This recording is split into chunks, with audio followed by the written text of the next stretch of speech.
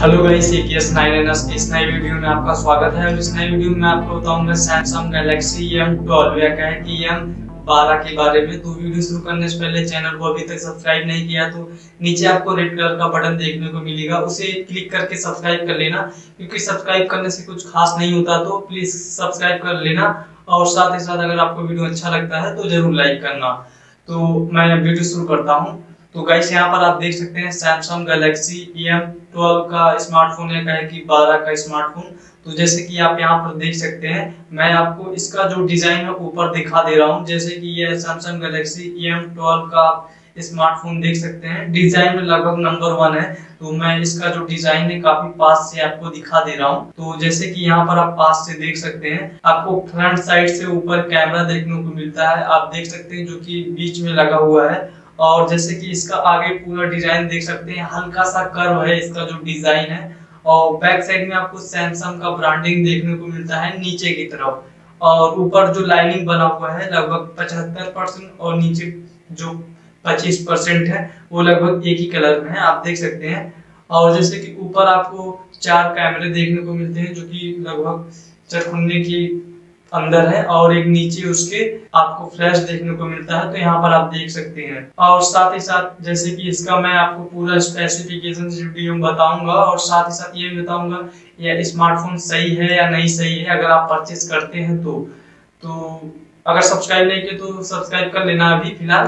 तो मैं आगे बता रहा हूँ, इसका जो मेन स्पेसिफिकेशन है। तो गाइस यहाँ पर आप देख सकते हैं, जैसे कि अगर आप स्मार्टफ़ोन यहाँ परचेस करते हैं, चार चौसठ का तो जैसे कि चार जीबी रैम और चौसठ जीबी इंटरनल के साथ तो आपको लगभग पड़ेगा साढ़े ग्यारह हज़ार में।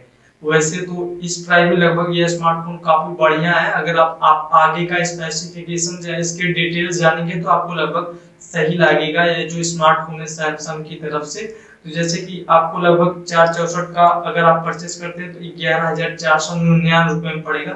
लगभग हम कह सकते हैं साढ़े ग्यारह हज़ार। और जैसे कि एक और इसका स्पेसिफिकेशन है, अगर आप छह जीबी रैम और एक सौ अट्ठाईस जीबी इंटरनल के साथ खरीदते हैं तो इसमें दो हज़ार बढ़ जाएगा। जैसे कि साढ़े ग्यारह हज़ार प्राइस है तो दो हज़ार अगर जैसे कि आप ये वाला परचेस कर रहे हैं, चार जीबी रैम और एक सौ अट्ठाईस जीबी इंटरनल के साथ तो लगभग इसका प्राइस हो जाएगा साढ़े तेरह हज़ार।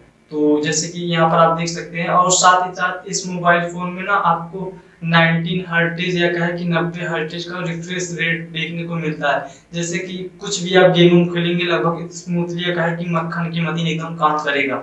और जैसे कि मैं आपको यहाँ पर दिखा दूँ, ये मोबाइल फ़ोन आपको तीन कलर में देखने को मिलता है ब्लू ब्लैक और व्हाइट तो जैसे कि यहाँ पर नीचे दिया गया है, आप देख सकते हैं। और जैसे कि मैं आपको मेन चीज़ें बताऊँगा, जैसे कि फालतू चीज़ें नहीं बताऊँगा, वैसे तो काफ़ी सारी चीज़ें यहाँ पर दी गई हैं। लेकिन जो जैसे कि स्मार्टफ़ोन कोई भी बंदा खरीदता है, उसे जैसे क्या क्या चाहिए स्मार्टफ़ोन से तो लगभग वो मेन चीज़ें मैं आपको बताऊँगा।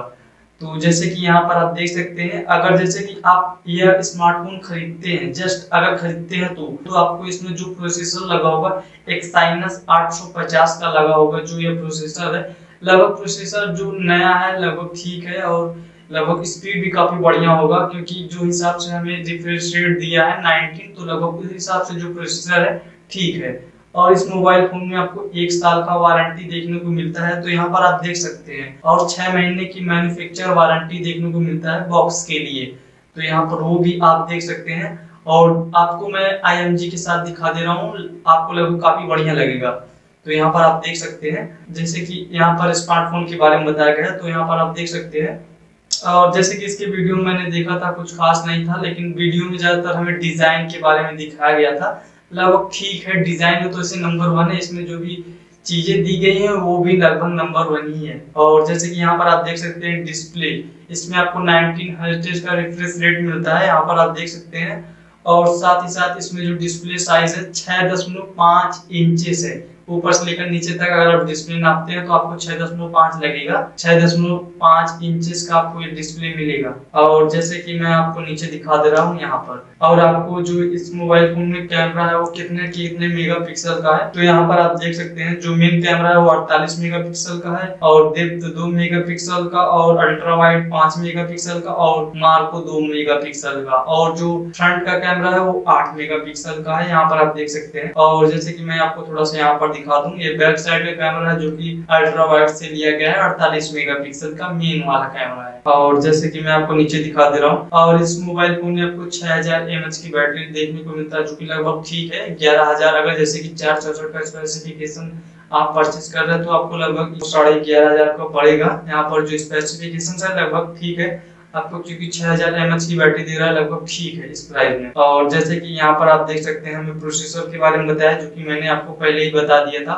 और इसमें जो रैम लगेगा, लगभग लेटेस्ट वाला होगा होगा यहाँ पर आप देख सकते हैं L P D D R four पर बेस्ड होगा, जो कि ज़्यादा लेटेस्ट नहीं, लेकिन फिर भी लेटेस्ट है, एकदम जो कि, जो लेटेस्ट वाला भी इसमें आया है L P D D R five पर है, वो ज़्यादातर बहुत ज़्यादा महँगी मोबाइल में आ रहा है, लेकिन ये भी लेटेस्ट ही है। और जैसे कि मैं आपको नीचे दिखा दे रहा हूँ, यहाँ पर आपको जो बैक साइड का फिनिश है, वो देखने को मिलेगा मोबाइल का। तो लगभग तीनों कलर का आपको देखने को मिलेगा, और यहाँ पर भी आप देख सकते हैं कुछ आईएमजी है जो कि दूसरे लोग पकड़े हुए हैं मोबाइल फ़ोन को, आपको काफ़ी बढ़िया लगेगा देखने में। और जैसे कि मैं बस नीचे दिखा दे रहा हूँ। और इस मोबाइल में जो क्या है कि कौन सा ओएस है, यहाँ पर आप देख सकते हैं वन यू आई ओएस है 3.1 पर एंड्रॉइड वर्जन है इसका, और जो कि बेस्ड है अलेवन पर। तो यहाँ पर आप देख सकते हैं। और साथ ही साथ यहाँ पर आप देख सकते इस मोबाइल फ़ोन में ना आपको फिंगरप्रिंट मिलता है, जो की स्क्रीन पर होगा, यहाँ पर आप देख सकते हैं, और फेस लॉक भी होगा, और भी काफ़ी सारे पैटर्न लॉक होंगे, जो कि नंबरिंग वाला होगा और पैटर्न वाला होगा। तो यहाँ पर जैसे कि जो मेन चीज़ है, वो जैसे कि फिंगर वाला, जो डिस्प्ले में आपको फिंगरप्रिंट मिलता है, वो लगभग ठीक है, काफ़ी लोगों को पता नहीं होता तो ये भी लगभग ठीक है।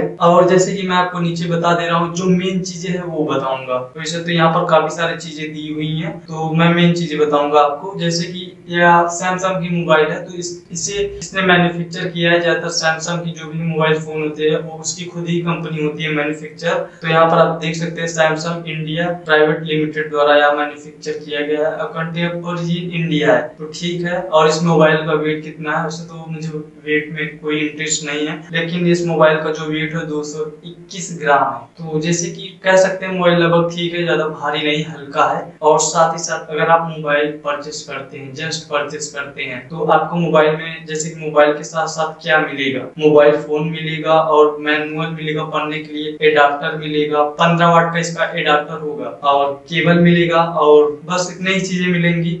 तो गाइस इस वीडियो में इतना ही। अगर आपको वीडियो अच्छा लगा, ज़रूर लाइक करना। लाइक करने के साथ साथ ये वीडियो अपने किसी भी फ्रेंड के साथ शेयर कर देना। और चैनल को अभी तक सब्सक्राइब नहीं किया तो प्लीज़ नीचे आपको रेड कलर का बटन देखने को मिलेगा। क्लिक करके सब्सक्राइब कर लेना और वीडियो में छोटा सा कमेंट कर देना वीडियो से रिलेटेड और वीडियो देखने के लिए धन्यवाद। Thanks for watching. प्लीज़।